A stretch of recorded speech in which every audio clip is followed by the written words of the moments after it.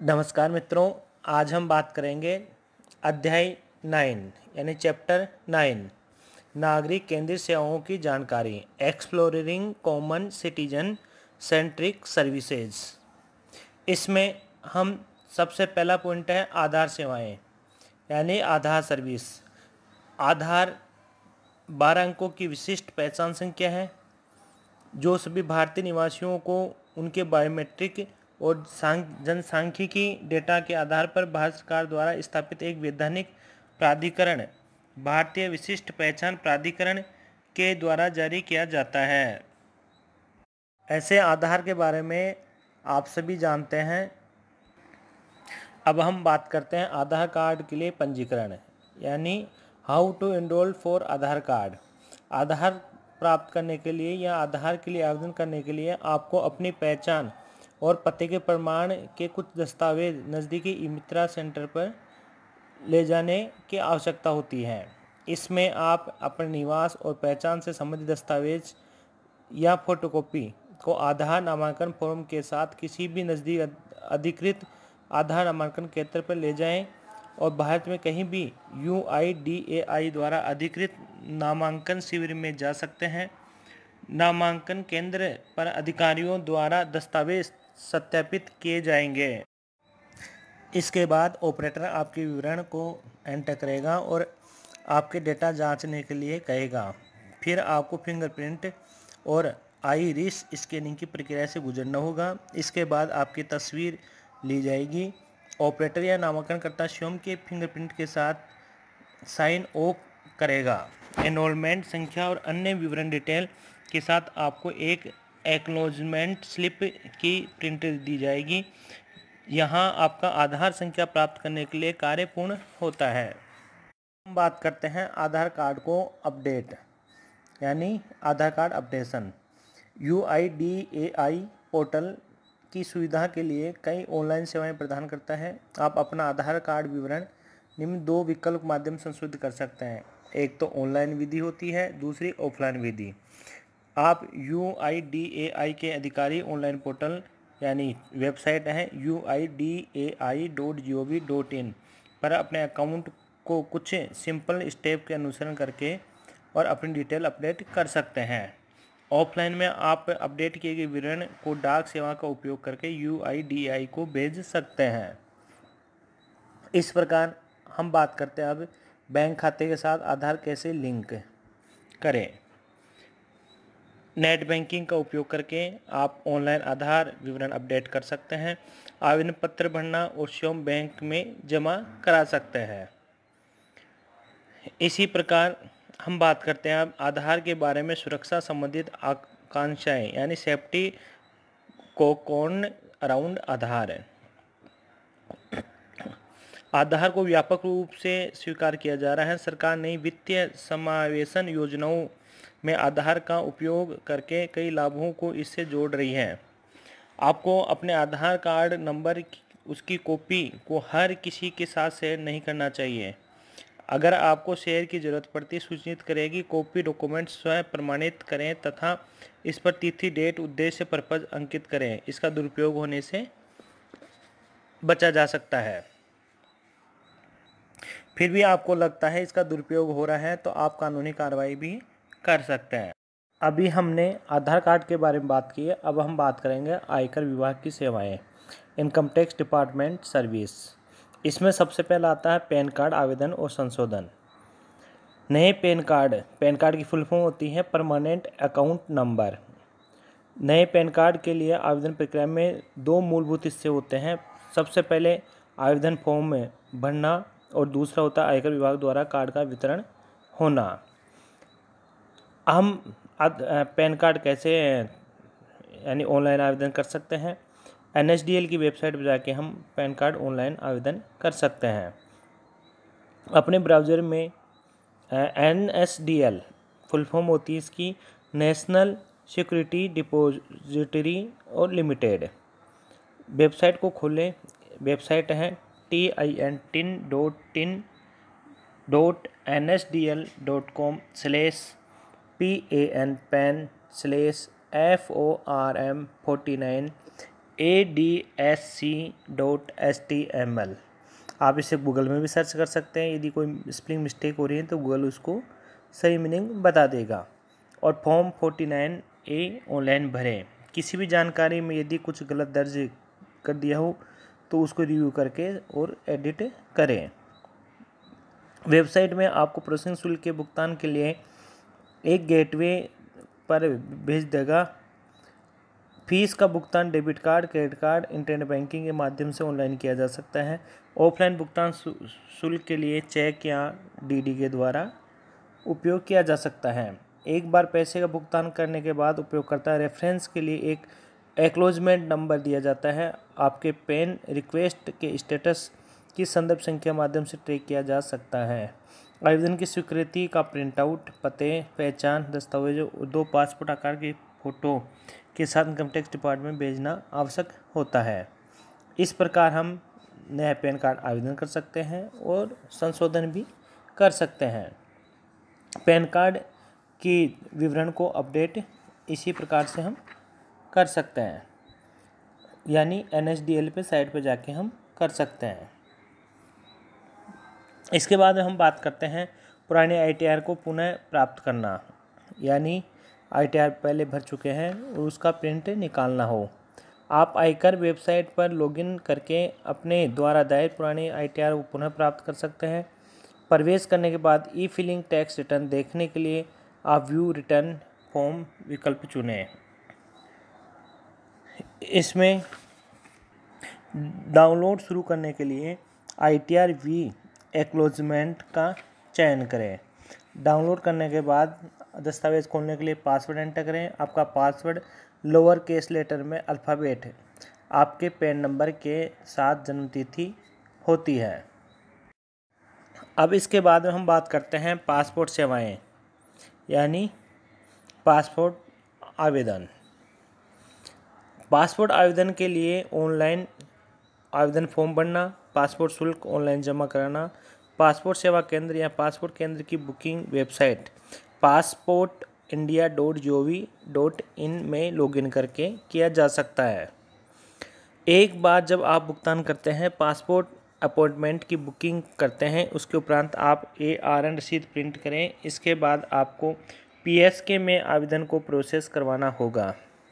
इसमें step first है, passport सेवा पर पर लॉग इन या पंजीकरण करना।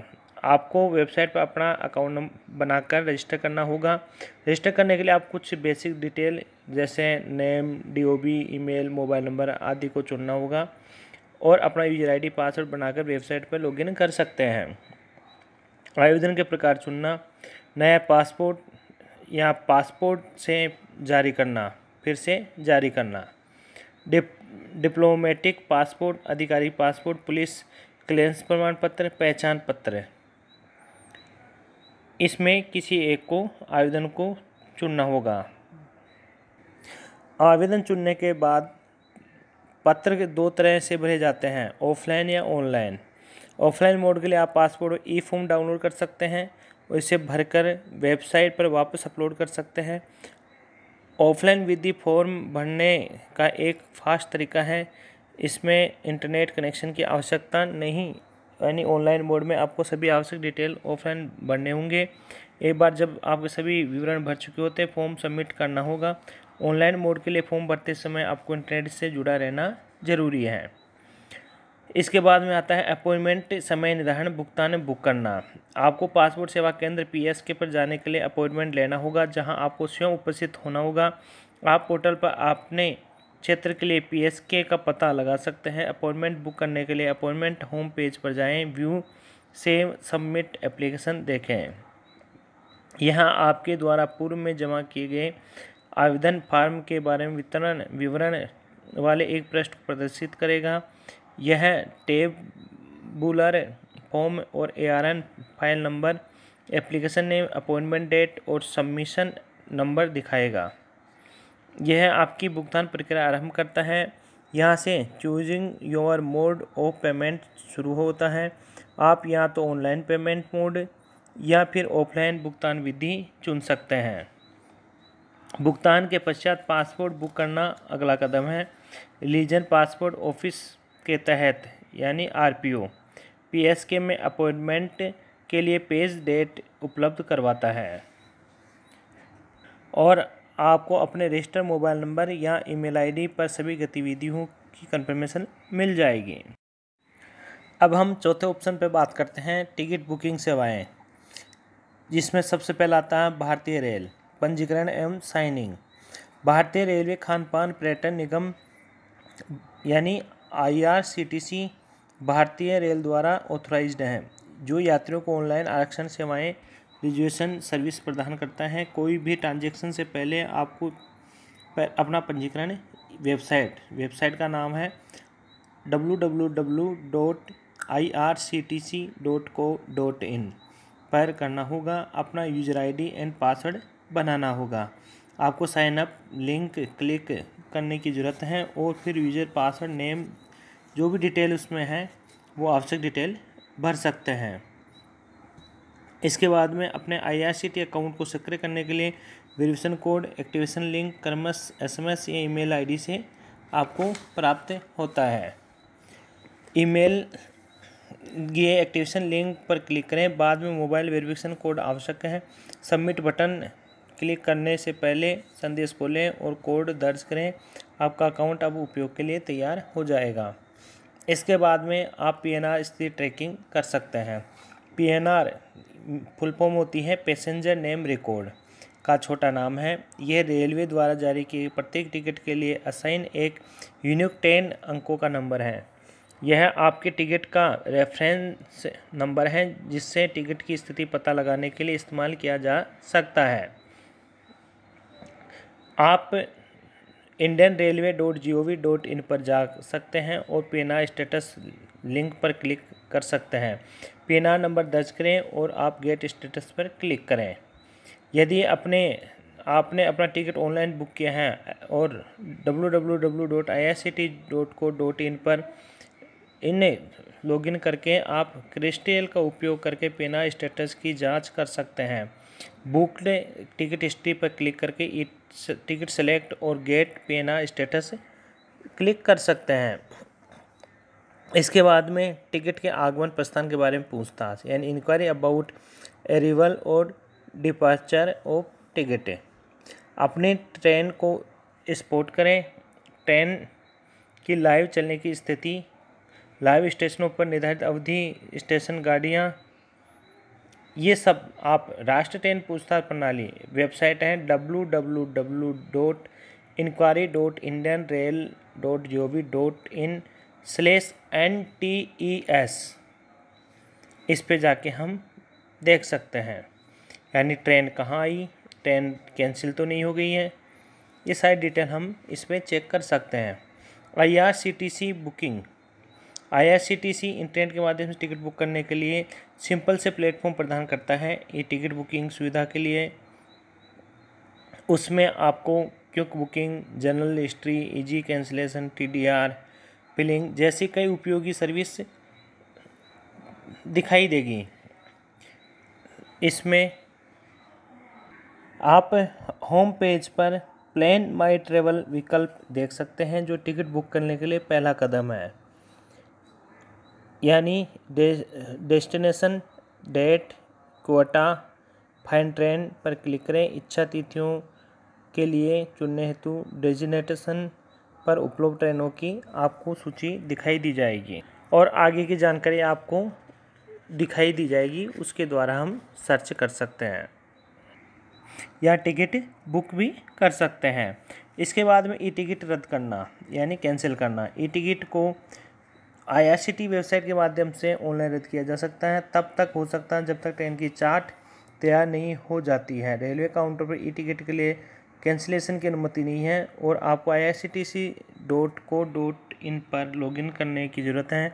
बुकड टिकट लिंक पर जाएँ और रद्द करने के लिए टिकट की चयन करें और रद्द यानी कैंसिल करने के लिए यात्रियों का चुनाव कर संबंधित टिकट रद्द कर सकते हैं। इसके बाद में हम बात करते हैं R S R T C, यानी राजस्थान राज्य सड़क परिवहन निगम। राजस्थान में बस सेवा प्रदान करने वाली एक सार्वजनिक बस परिवहन कंपनी है। ये राजस्थान के और उसके बाहर अपने सभी यात्रियों को राज्य के भीतर और बाहर बस सेवाएँ प्रदान करता है। इसकी वेबसाइट है R S R T C online dot Rajasthan dot G O V dot in. इसमें पंजीकरण और साइनिंग।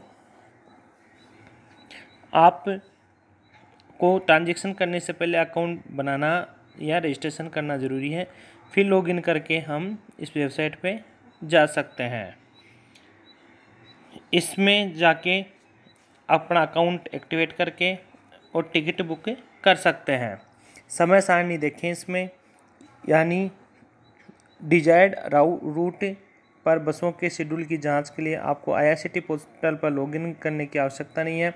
आप लॉगिन पृष्ठ पर बस इंक्वायरी पर क्लिक करें, ऐसा कर सकते हैं।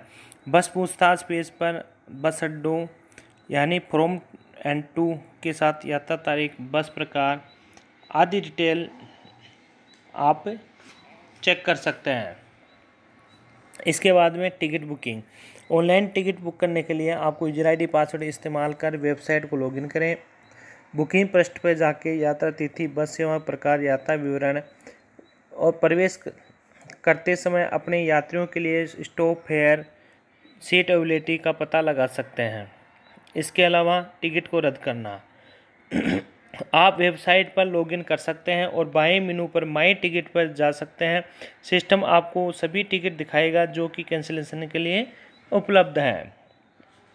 टिकट रद्द करने के लिए टू कैंसिल पर क्लिक करें। न्यू विंडो में टिकट विवरण यात्रियों की सूची दिखाई देगी। चाहे, आप चाहे तो पूरी टिकट कैंसिल कर सकते हैं। इस प्रकार स्टेप के द्वारा हम टिकट बुक कर सकते हैं। अब पाँच ऑप्शन आता है राष्ट्रीय मतदाता सेवा पोर्टल या नेशनल वोटर सर्विस पोर्टल। राष्ट्रीय मतदाता सेवा पोर्टल वेबसाइट है W W W dot N V S P dot in को पाँच जनवरी 2015 में राष्ट्रीय मतदाता दिवस के अवसर पर मतदाताओं को एकल खिड़की सेवाएँ प्रदान करने के उद्देश्य से लॉन्च किया गया है। E C I, election commission of India, द्वारा उपलब्ध कराया गया है। उपयोगकर्ता वेबसाइट पर जा सकते हैं। सेवाओं का लाभ उठाने के लिए इस लिंक पर क्लिक कर सकते हैं। चुनाव सूची में नाम खोजें।